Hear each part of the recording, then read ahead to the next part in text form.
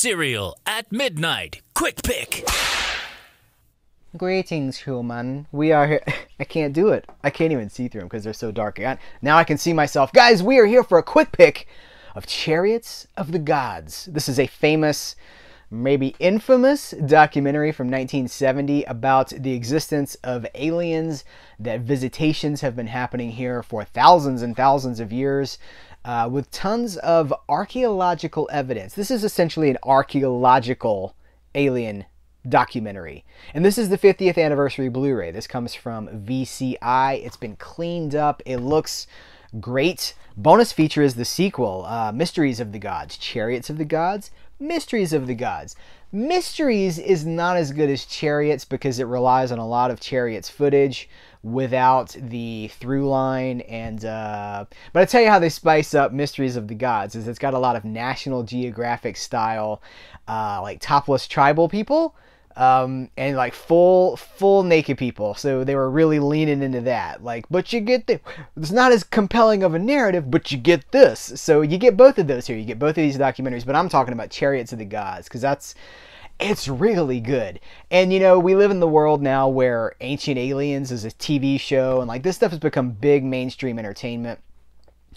Uh, it kind of all started here. Eric von Däniken uh, was the guy who wrote these books that uh, Chariots of the Gods was based on. It's an archaeological movie. They're really focusing on the evidence. They go to all four corners of the globe, all the continents. They're looking at statues, artifacts, uh, cave drawings, hieroglyphics, things like that. And it, some of it, you're like, well, this could be, you know, just a coincidence. This could be just how they saw their gods at the time.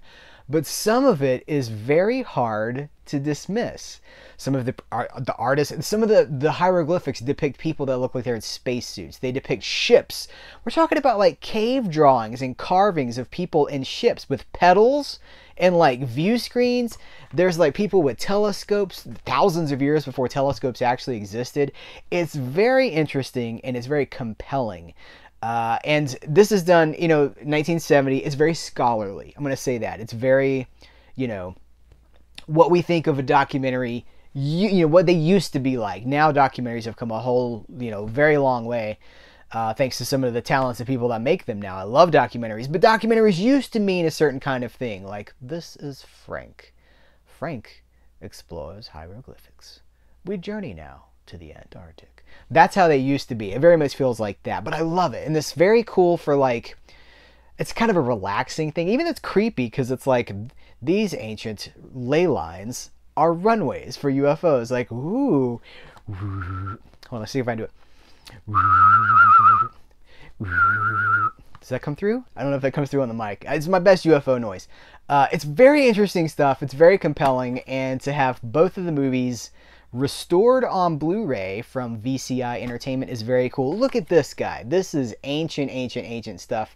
The Moai on Easter Island. There are, I think there's hundreds of them on Easter Island. Some of them didn't even get finished car- being carved there's moai all over the place. They look out into the sea. Stonehenge. How do we explain Stonehenge? There are places that have these huge, multi-ton uh, stone carvings, and the stone is not around for hundreds of miles. The stone that these things are made out of doesn't exist in that area, so that means that they would have had to have brought it from hundreds and hundreds of miles away how do you do that? And they're talking about how like it was swampland. So if you did care, how would you carry tons of materials through swamp? Like you physically can't do it. So there's so many interesting questions and chariots of the gods seeks to it doesn't i don't think it really has any answers. It just says like look the, we have been visited and here's the evidence and it's easy to be like, ah, I'm practical. I don't think so. But it's fascinating to watch. And even as a travelogue, they go to so many. There's a quote from Leonard Maltin back here. Well made